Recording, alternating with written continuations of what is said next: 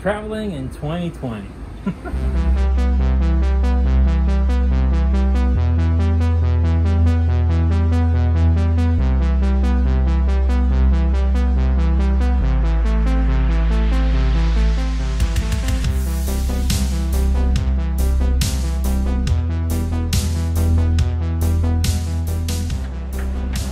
So we just got off our flight uh, from American from O'Hare to Dallas Fort Worth.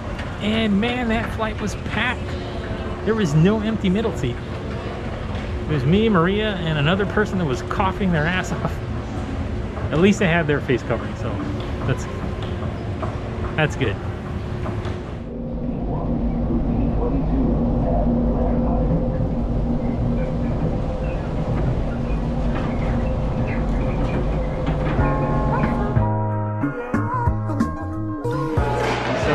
Y'all.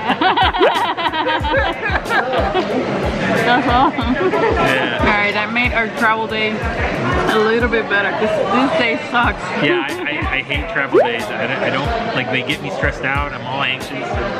Um, Yeah, but even more so now. yeah, and I've never had my mask on for so long, so my ears kind of hurt.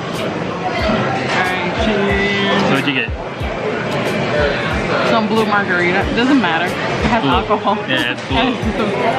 And I got a blue moon, so keeping with the theme. i'll take the And uh, That's what you always get. if he's not getting old fashioned, he's getting a blue one. yeah, I didn't want to go too hard. Um, so just gonna do some taquitos, get some munchies in, and uh, hop on that last flight to Durango. I'm not looking forward to it. No, but it's it's a shorter flight.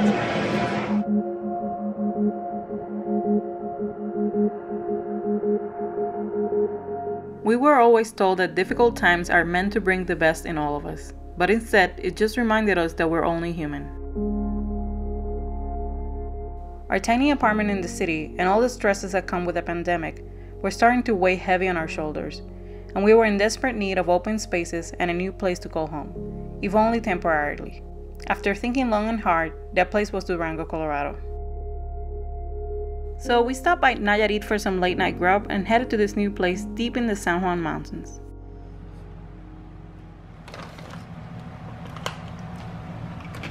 Hmm.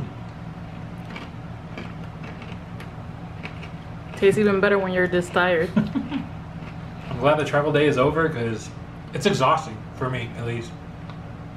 Having to wake up early, get into the airport, all that stuff gives me so much anxiety.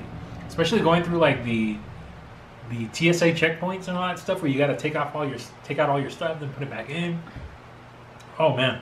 But we're finally here. I'm really loving this Airbnb. It looks really nice. I would love to buy a place like this. Actually.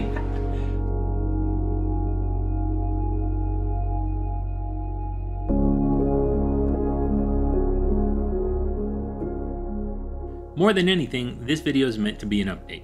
We'll be working from here and taking some time in the evenings to catch up on some pending videos. Hopefully do some hiking and filming on the weekends as well. Hope you guys are finding time to decompress and stay healthy as well. Thank you so much for watching, and as always, see ya in the next one.